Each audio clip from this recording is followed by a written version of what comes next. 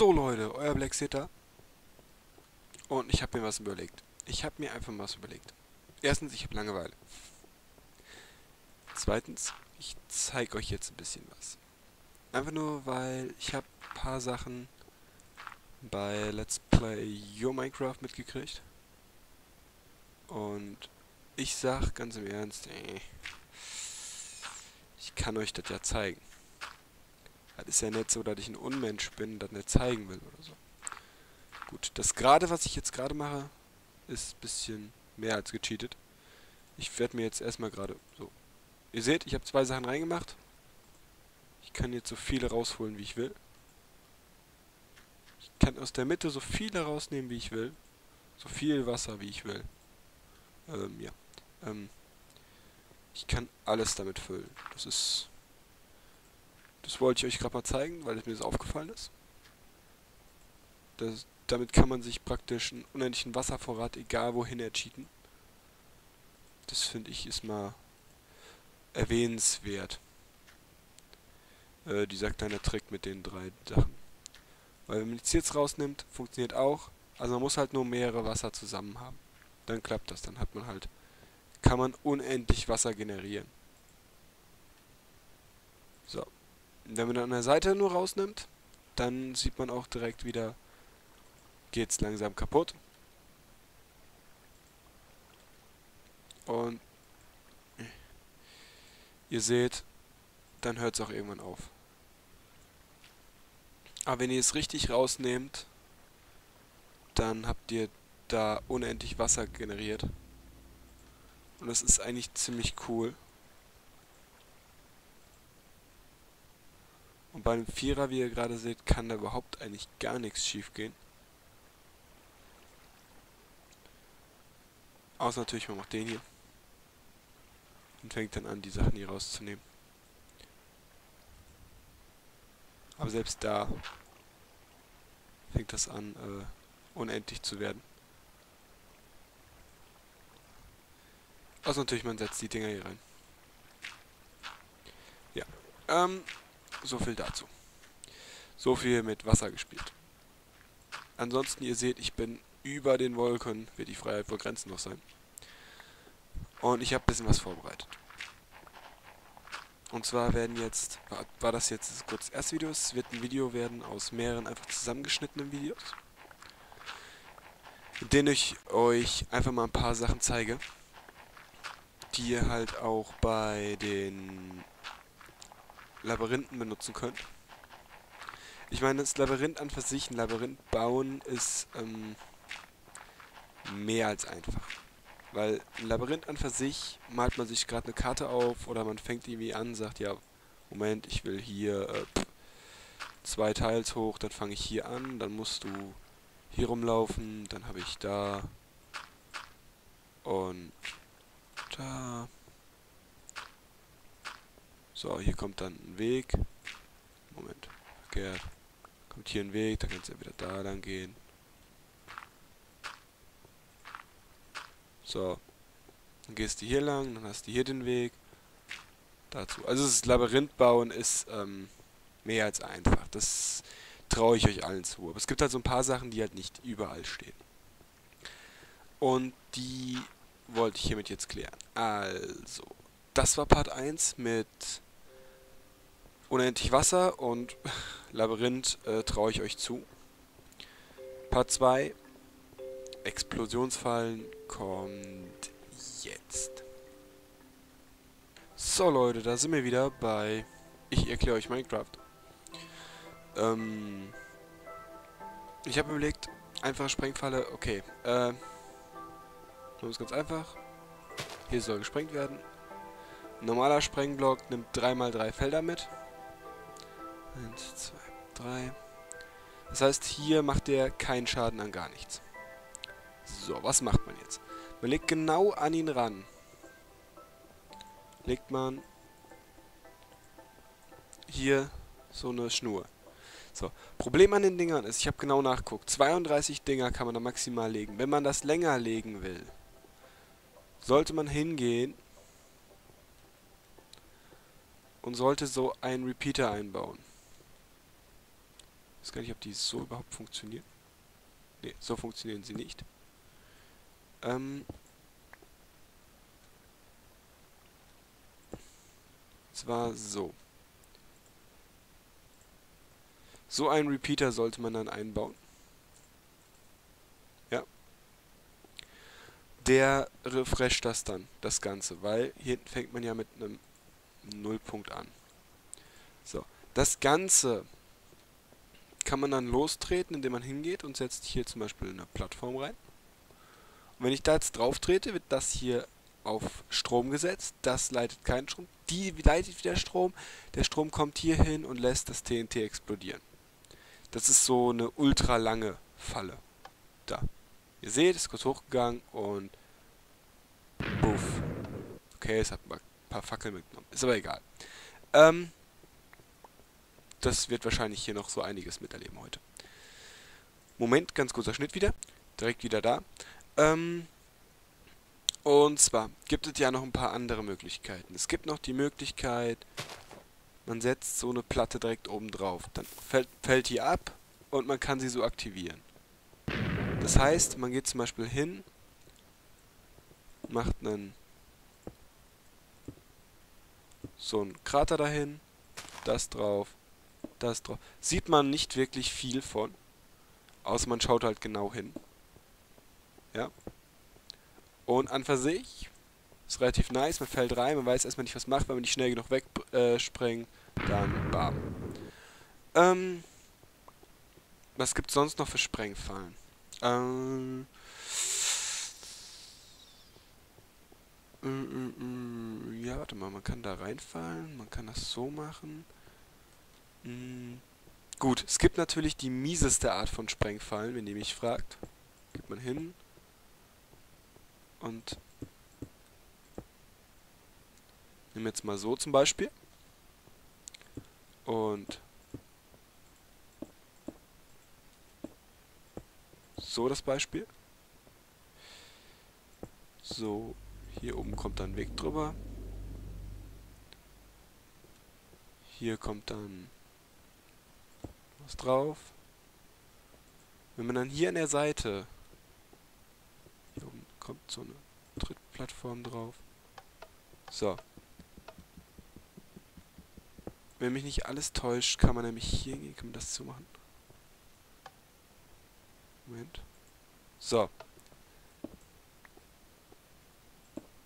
Geht man zum Beispiel hin, sagt hier und hier. Legt dann hier unten Sprengstoff rein. Ja. Legt den Red Dust dann hier so an. Und wenn man jetzt von hier kommt, Moment. Ja? Sieht man gar nichts. Außer dass da irgendwas ist. So. Wenn man jetzt hier lang läuft. Äh. Okay, man muss den Red Dust schon dranlegen. Ich bin auch manchmal... Müsst mir vergeben. Ich, ich nehme mal wieder nachts auf, was ich eigentlich euch versprochen habe, nicht mehr zu tun. Aber egal. So. Man springt jetzt hier drauf, läuft ganz normal den Gang entlang im Endeffekt und dann auf einmal... Boom. Tot.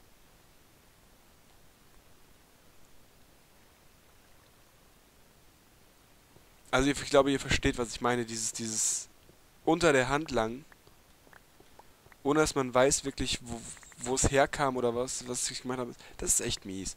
Also das sind schon richtig fiese Sprengfallen. Ähm, es gibt natürlich noch andere Arten. Es gibt noch Arten, die ich nicht kenne. Garantiert. Ähm, was zum Beispiel auch ziemlich, was ich jetzt mitgekriegt habe, was ziemlich mies ist, wenn ihr mich fragt, ist ja, Tür. Ähm, ich bereits kurz vor, bis gleich. So Leute, und zwar habe ich mir hier eine Tür geholt, ja. Und gehen wir jetzt wirklich hin, sagen, yo, kommt irgendein Unwissender an. Dann legen wir hier Sprengstoff Ja. So. Dann kann man natürlich hingehen, kann dann hier... Man kann das, den Red Dust auch besser verstecken und so weiter. Das ist natürlich kein Ding. Ja. Dann legt man da die Platte hin. Und jetzt kommt einer und sagt, okay, Tür auf, Tür zu. Und hinten dran ist der komplette Weg weg. Wenn man dann auf beide Seiten was legt, ist wirklich der Weg weg. Und das ist, wenn ihr mich fragt, nicht gerade freundlich. Also von der wegen, äh, also man kann da schon einiges Fieses mitmachen. Natürlich genauso mies ist, da muss ich mal kurz, mal wieder kurz cutten. Ich zeig's euch gerade. Bis gleich, euer Blick seht. So Leute, ich habe mal kurz Location getranst, weil da oben komme ich nicht halt hoch. So, kurze Sache. Ich habe hier einen Gang, normalerweise, ich habe den jetzt mal auf der Seite aufgeschnitten, damit ihr seht, wie das aussieht, wie man den baut. Ähm, normalerweise ist es hier an der Seite natürlich auch so, hier so, so, so. So, so, hier so. Äh, schlecht. Das sollte hier nicht passieren. Normalerweise sollte man hier drüber laufen, dann passiert das. Im Endeffekt fällt das hier dann alles auf einen runter. Und wenn man das, die Seiten dann aus Obsidian gebaut hat, passiert eben das. Dass der Gang zu ist und man sich da durchbuddeln muss. Wenn das jetzt nicht gerade mit Ding ist, dann dauert das ein bisschen. Ein Weilchen. Aber das hat gerade, äh, ja, das hat gerade nicht sein sollen. Ist aber relativ. Ihr habt gesehen, wie es aufgebaut war. Bin ich denn hier? Ach, hier bin ich. Uh. Uh. Wer es erkennt, das ist meine alte Bude. Schrägstrich, das ist die von Steve O veränderte Bude. Den Safe State habe ich immer noch. Oh mein Gott. Ja, jetzt weiß ich auf jeden Fall, was ich überhaupt hier mache. Egal. Ähm, Location, Transen und ich zeige euch weiter was. Bis gleich. So, Leute, wieder da.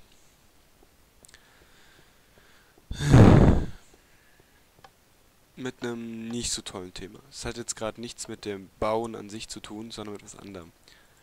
Und zwar, nee, jetzt keine Angst, es ist nichts Schlimmes oder so.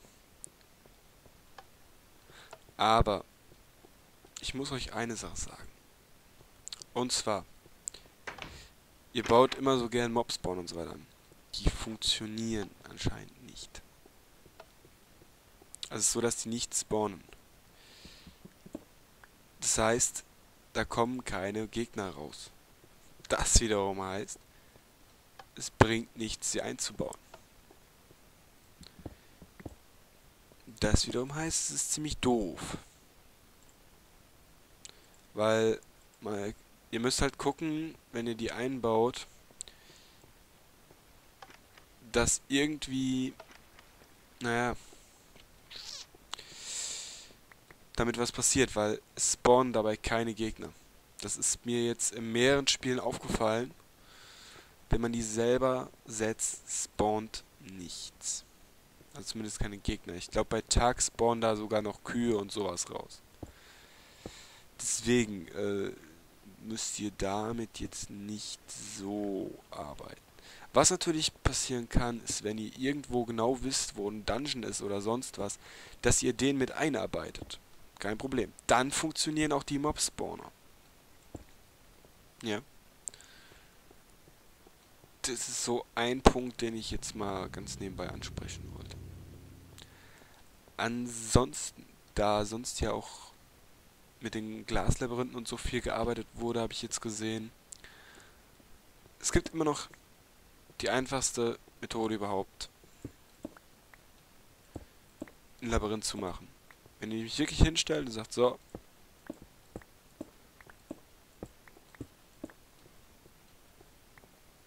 hier durch die Tür musst du jetzt drüber, musst du jetzt durch und du hast nur drei Teile. Bau. Ja? Na, sagen wir fünf. So dass ich gerade so dahin komme. Ich darf ja nichts kaputt machen. So. Zum Beispiel. Das wäre ein Rätsel gewesen. Das wäre schon ein Rätsel gewesen. Moment, die Fackel muss da wieder dran. Weil auf den Stein, es muss nicht da sein. Der Dread Dust. Es kann da sein, es muss nicht. Aber allein das wäre jetzt schon ein Rätsel gewesen. Was ich nicht gelöst hätte, weil hier ein Stein fehlt. Da. So, jetzt klappt es. Aber so einfache Rätsel könnt ihr mir auch stellen. Einfach im Anführungsstrichen. Ihr habt es bei Vodara gesehen. Er hat ein schönes Rätsel gemacht mit dem mit der Fackel. Die hätte er aber besser verstecken können, sage ich ganz ehrlich. Nicht direkt mit der Kiste daneben, sondern wirklich so mittendrin so eine Fackel einfach mal drücken. Und ihr müsst mir auch nicht immer so zwei Meter bevor das Rätsel kommt, den Rätselgegenstand in die Hand drücken. Ich rechne immer damit, dass ich dann am Anfang zum Beispiel eine Fackel kriege, die ich dann irgendwo am Ende brauche, sonst komme ich nicht zur Kiste, also darf ich den kompletten Weg wieder zurücklaufen, weil ich die Fackel irgendwo an die Wand geklatscht habe, weil ich dachte, ich brauche sie nicht mehr. Sowas kann auch reinkommen. Was war noch alles? Was war noch alles? Da waren noch ein paar andere Sachen. Ich meine, das Rätsel hier kennen wir aus Apfels. Ähm, Sprengfallen habe ich jetzt gezeigt. Damit hat Mechanfonia gut gearbeitet beim ersten Mal, wie bescheuert. Mhm. Glaslabyrinthe habt ihr schon gesehen. Moment. Da musste ich niesen. Ähm, Glaslabyrinthe habt ihr gesehen, die sind ja auch nicht, nichts anderes wie das hier. Hier im Endeffekt. Nur, dass man hier überall Fackeln reinstellt, dass man nicht mehr durchkommt. Ähm... Was war sonst? Ich meine, Dizzy's Rätseln waren auch sehr schön. Das war, fand ich auch sehr schön. Oh, da habe ich noch eine Idee, was man zum Beispiel sagen könnte. Müsste ich aber kurz äh, wieder mal Location transen. Bis gleich, euer Black Seed. So Leute, Location getranst und ich habe es auch direkt vorbereitet. Und zwar habt ihr hier zum Beispiel jetzt auch so ein schönes Beispiel. Ich meine nicht nur, dass es ein schönes Muster gibt. Ähm, die Wege brauchte ich, um wieder hochzukommen. Und zwar ihr, stellt ihr dann hier so ein Schild auf nach dem Motto, jo, 1, 2 oder 3 Grab. Die Umrandung würde ich jetzt zum Beispiel aus Obsidian machen. Ähm, und dann zum Beispiel Grabe. So nach dem Motto, such dir deinen Weg. TNT. Hätte ich jetzt nicht aufgepasst, wie zum Beispiel so, dass ich mich einfach nach unten grabe, wäre ich jetzt im TNT, käme nicht mehr raus, weil ich mich nirgends dran, tot. Einfache Falle. Ich glaube, einfacher geht's kaum. Das sind so Fallen, die wollte ich von euch haben. Die will ich auch teilweise nicht haben. Ich meine, ich habe schon ziemlich intelligente Fallen alles gesehen. Ich habe auch verdammt große und gute Labyrinthe schon gesehen. Auch die Lava-Dinger von, von Dizzy fand ich sehr toll. Und ja, an für sich. Ich meine, die Labyrinthe, die ich gekriegt habe, sind echt nice. Da muss ich mich teilweise auch echt durchfriemeln. Das von Error zum Beispiel, das ist auch nicht schlecht mit den drei Ebenen, wo man sich wirklich auf die nächste Ebene hoch suchen muss und man wirklich überall an Leitern rankommt und immer gucken muss. Das ist echt mies. Das ist, das heißt nicht mies, das ist gut gewesen. Die Idee ist gut gewesen auch. Ich meine, Dizzy's auch und das von Vodara und Apfel waren auch nicht schlecht. Also da durchzukommen, das war teilweise echt, es ist teilweise echt eine Qual gewesen. Aber es ist cool, sowas wollte ich halt haben. Aber was halt wirklich ist, bisher halt, dass Fallen relativ arm sind. Aber es gilt ja nicht, es gibt ja nicht nur die hier, die Fallen. Es gibt ja auch mehrere Sachen, die, hm, ich weiß nicht, ob Minecraft die so beabsichtigt hat oder nicht.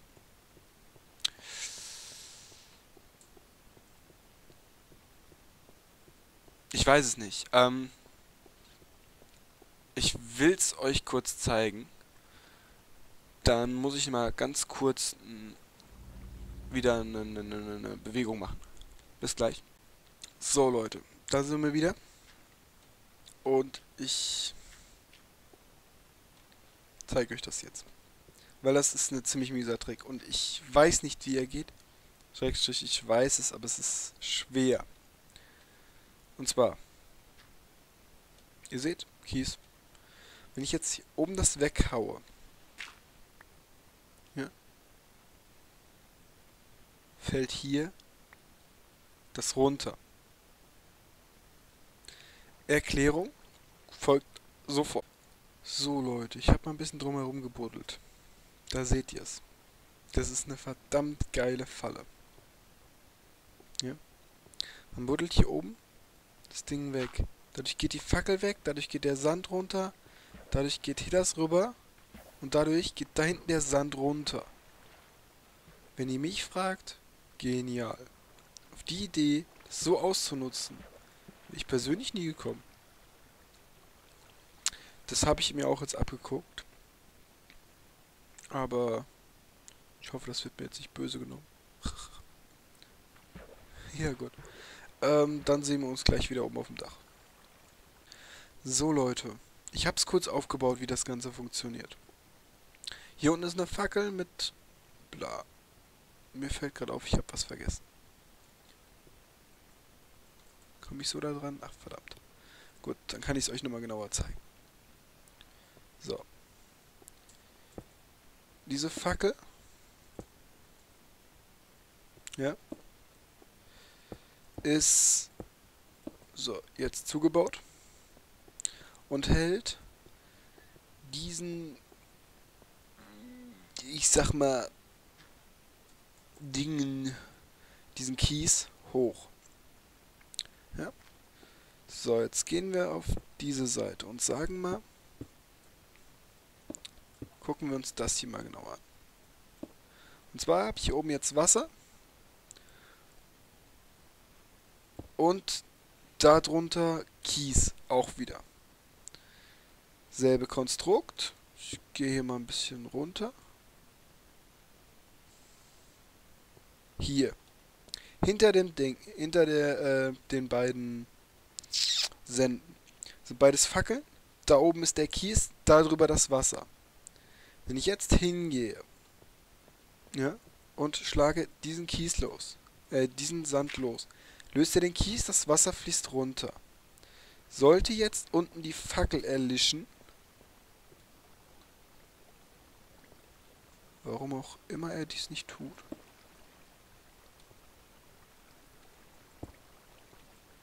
Moment. Kurz mal gucken, warum er das nicht tut. Warum tust du nicht, was du tun solltest?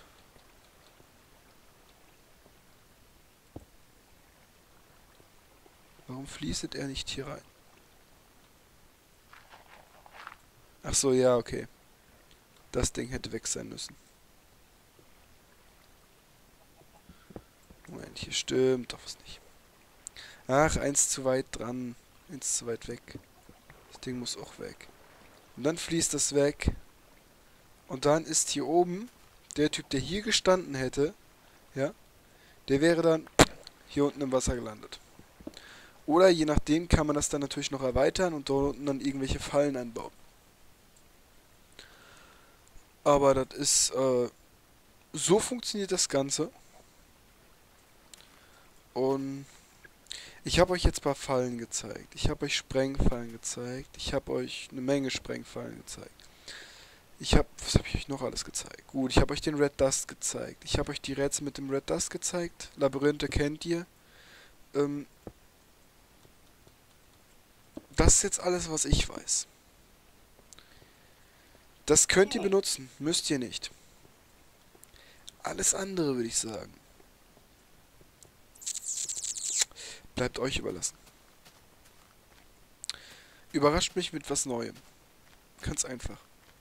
Guckt, ob ihr mir noch, noch was, ob ihr noch was kennt, was ich hier nicht aufgezählt habe, und zeigt mir das.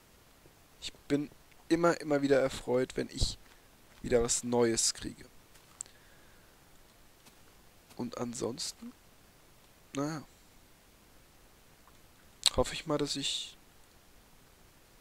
von euch ein paar noch kreative Labyrinthe finde, kriege.